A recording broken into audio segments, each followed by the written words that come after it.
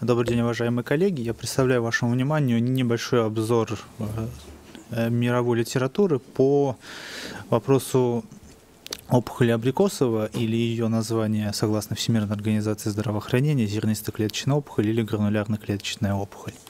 Следует сказать, что это опухоль мягких тканей с нервной эктодермальной дифференцировкой, и впервые она была описана в статье, которая была опубликована в архивах патологии журнала Верхова и описана Алексеем Ивановичем Абрикосовым в 1926 году.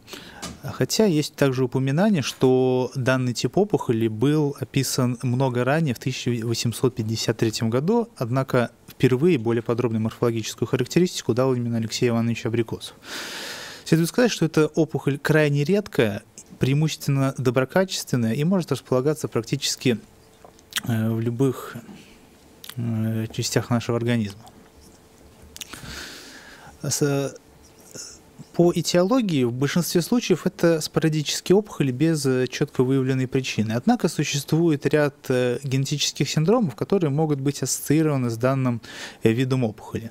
Прежде всего это леопард-синдром, синдром Нунан, нейрофиброматоз первого типа, а также ряд генетических мутаций. Прежде всего это мутации в генах PTPN1, PTEN, мутации в генах ATP6, AP1 и второго типа, а также мутации в генах BRD7 и G Феррей 2.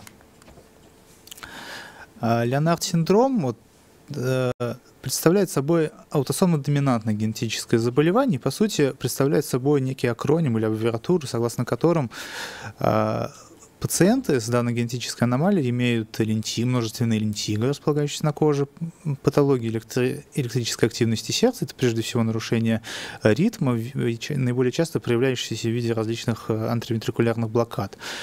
А, это окулярный гипертуризм, то есть э, широкое расстояние между, между глазными яблоками, Отмечаются также нарушения в виде пульмонарного стеноза, что характеризует соответствующая клиническая картина. Могут быть встречаться патологии э, гениталий, замедленный рост и, как правило, врожденная глухота. И данный синдром ассоциирован с герном PTP-N1, как и следующий синдром, который называется синдром Нунан. А распространенность у новорожденных крайне э, низкая. Встречается примерно у одного на тысячи, либо одного на две с половиной тысячи новорожденных. Также представляет собой аутосомно-доминантное генетическое заболевание и характеризуется низким ростом, э, окулярным гипертелоризмом, широким лбом, птозом век и наличием эпикандуса, и также ассоциирован с генетической аномалией. А, в 2018 году было опубликовано исследование, которое показало а, некую ассоциацию между развитием зернистоклеточной опухоли и генетическими альтерациями в генах ATP6, а, AP1 и второго типа. Так было показано, что данные генетические нарушения встречаются в 61 и 11% случаев зернистоклеточной опухоли различных локализаций. В в 2015 году было опубликовано исследование, которое также на основании, на основании генетического секвенирования следующего поколения показало, что в опухолевой ткани, в опухоли абрикосова встречаются также генетические а, перестройки в генах BRD7 и GFRI2, которые могут встречаться в соответствии в 21% и 37% случаев. Э, согласно эпидемиологическим данным, э, данный вид опухоли наиболее часто встречается в возрасте от 40 до 60 лет, однако может происходить практически в любом возрасте, но в возрасте менее 5 лет и более 80 лет встречается крайне редко и представлено лишь единич, единичными клиническими случаями в литературе. Соотношение между заболеваемостью мужчин и женщин составляет примерно 5 к 4, а при этом преобладание данной опухоли у людей афроамериканской расы. И по распространенности примерно 0,03% от всех опухолей. То есть опухоль крайне редкая. А, что же касается локализации, то в большинстве случаев данные опухоли локализуются в области как раз головы и шеи. И злокачественные опухоли встречаются крайне редко. Всего лишь 1-2% случаев от всех зернистоклеточных опухолей, которые могут встречаться как в клинической практике, так и по данным литературы. А, согласно диагностическим алгоритмам, основное в диагностике данных опухолей – это патоморфологическое исследование. Яна Сергеевна в своем докладе подробно уже рассказала про эту тему. Что касается э, диагностической визуализации, здесь преимущественно отдается магнитно-резонансной томографии. И Ольга Игоревна также подробно рассказала об основных э, моментах, э, которые могут быть полезны для специалистов в области лучевой диагностики магнитно-резонансной томографии. А врачу-клиницисту важно прежде всего понимать, что при дифференциальной диагностики между зернистоклеточной опухолью и различными мягкотканными опухолями, в частности, э, саркомами или в случае слизистых оболочек плоскоклеточным раком, очень важны иммунохимические исследования. И важно понимать, что наиболее часто патологические иммунохимические окраски соответствуют э, нейроэктодермальной природе данных опухолей. В то же время отрицательные окраски на панцитокератина, хромогранина и HMB45 позволяет отличить данный вид опухоли от мягкотканных сарком и меланоцитарных новообразований плоскоклеточного рака. А, поскольку зернистоклеточные опухоли, имеющие злокачественную природу, крайне редкие, встречаются всего лишь максимум 2% от всех зернистоклеточных опухолей, разработаны были специальные критерии Фанбурга Смита, которые были опубликованы впервые в 1998 году. И на основании ряда патоморфологических критериев мы можем э, классифицировать данные опухоли как доброкачественные, если отмечается э, не наблюдается ни одного из вышеперечисленных признаков. В случае, если отмечаются один или два признака, то данная опухоль относится к атипичной, если три более признаков, то она относится к злокачественной зернистоклеточной опухоли. Несколько позже, в 2011 году, э, были разработаны также критерии Насера Ахмед-Ковански, которые, по сути, повторяет предыдущую патоморфологическую классификацию и предлагает некоторый диагностический алгоритм, который позволяет отличить доброкачественную зернистоклеточную опухоль от злокачественной зернистоклеточной опухоли. Так и в случае, если мы подозреваем наличие зернистоклеточной опухоли, мы должны оценить патоморфологические наличие некрозов и э, оценить количество метозов на поле зрения. В случае, если некрозы и метозы присутствуют, то в этом случае можем уже подозревать э, зернистоклеточные опухоли неопределенной злокачественного потенциала. В случае наличия метастатического поражения либо отдаленных метастазов в лимфатических узлах, то мы уже можем подозревать злокачественную опухоль ректодермального происхождения. В случае отсутствия этих признаков мы можем выставлять диагноз как доброкачественная зернистоклеточная опухоль. Лечение очень важно, поскольку это крайне редкая опухоль, проведение клинических исследований, которые помогут нам определить, какой же метод лечения является определяющим, к сожалению, невозможно.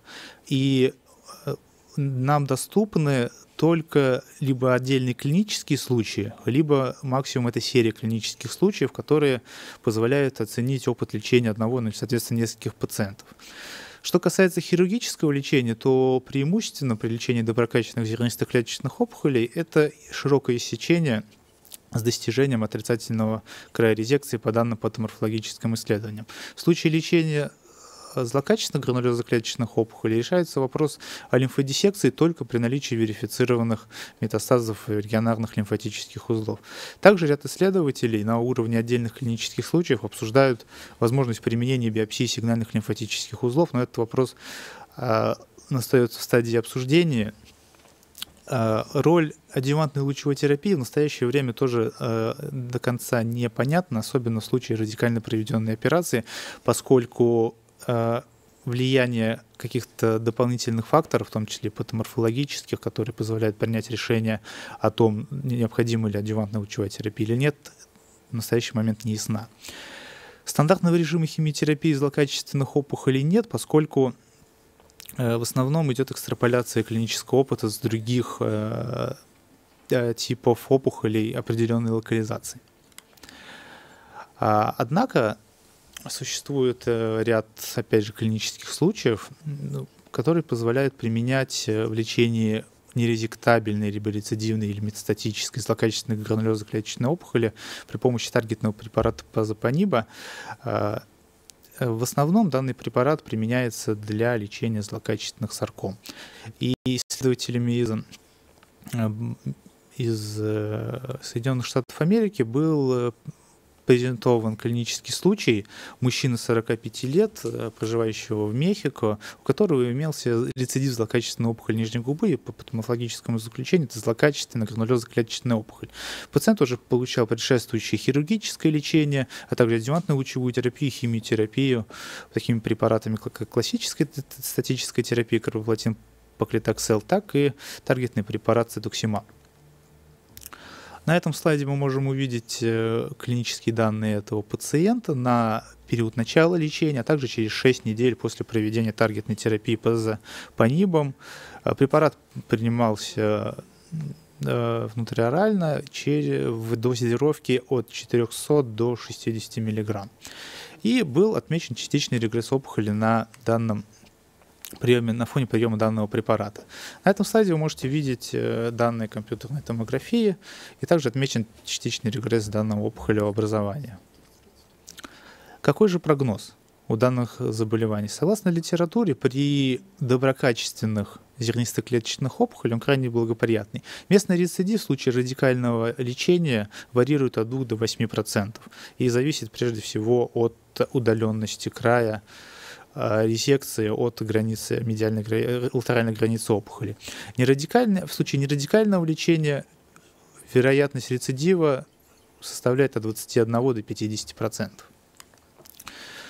В случае злокачественных опухолей вероятность местного рецидива также варьирует от 32 до 41%, при этом наличие метастазов варьирует от 11 до 62%.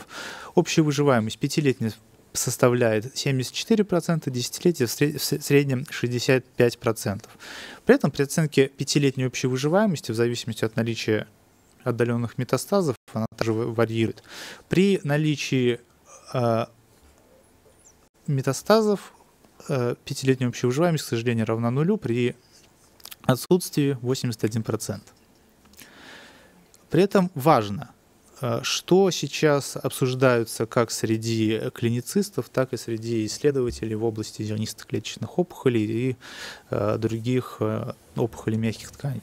Прежде всего, это вопросы нерадикального хирургического лечения и каков его прогноз на Э, дальнейшую судьбу пациента и дальнейшую тактику лечения. Обсуждаются вопросы лимфодиссекции, в том числе и биопсии сигнального лимфатического узла, однако это крайне сложная задача ввиду крайне редкой распространенности опухоли. Важным является коммуникация внутри мультидисциплинарной команды, особенно при общении э, клинициста и патоморфолога, поскольку основным моментом дифференциальной диагностики между зернистоклеточной опухолью с другими мягкотканными новообразованиями, а также в случае локализации в области э, головы, шеи, гортани или верхних пищеварительных путей, очень важна патоморфологическая диагностика в виде иммуногистохимического исследования. Поэтому очень важно э, чтобы было достаточное количество материала для проведения всех необходимых исследований. И четвертая проблема, которая э, обсуждается, это так называемый нерепрезентативный биоптат, когда э, материала либо недостаточно для проведения полного комплекса обследований, либо э, он выполнен не, выпол, биопсия выполнена неправильно. И в качестве демонстрации, что действительно важно, клинический случай, который был опубликован в 2017 году в журнале клинических случаев э, Британской медицинской ассоциации. Мужчина 44 э, лет, который злоупотреблял курением и алкоголем, э, и при этом обратился в бразильский госпиталь, у которого на этапе первичной диагностики была отмечена эритроплакия в области боковой поверхности языка, представленная изведенным узловым образованием диаметром от 10, 10 на 15 мм, и он отметил быстрый рост этого образования в течение двух месяцев. По данным исследования биоптата было отмечено так называемая псевдопельматозная гиперплазия. А, э, этот признак очень часто путают с так называемым плоскоклеточным раком инситу. И это очень важно. И были отмечены зернистые клетки. И в дальнейшем при исследовании уже после операционного материала с применением иммуногистохимических исследований, в частности, исследованием на белок S100, виментин, CD68, P53, KI67, а также на цитокератины, а, было показано, что э, данная опухоль не является плоскоклеточным раком, а является доброкачественной зернистоклеточной опухолью. И вид э, место хирургического воздействия после 6 месяцев наблюдения. Спасибо большое за внимание.